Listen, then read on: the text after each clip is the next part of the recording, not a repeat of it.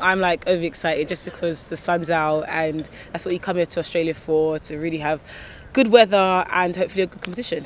I think it, it means a lot more actually, just because obviously being Great Britain, we was all one, and now we've been separated. There's like a big rival between us, um, like Scotland and Ireland and everyone, and it's weird to feel like, oh god, who's in this team, who isn't in this team? But now that we've been separated, we know who's who. It's like that good, like okay, we're English and we're gonna put on a good fight, and not just only say that they're our only competition, but I feel like it's a good um, thrill that we have between the, the camps to say that we want to try and beat each other.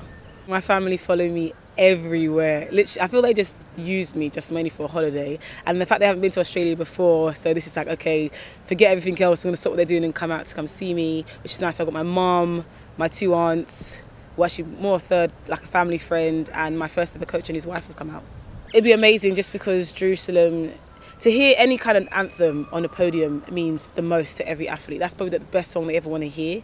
Like, yeah, you got your playlist and stuff, but when you're on the podium, that's the song you want to hear. You don't want to hear anybody else's anthem. You want to hear your own, and I feel that means so much. So to know that Jasmine sung it, it's gonna it's gonna touch all our hearts.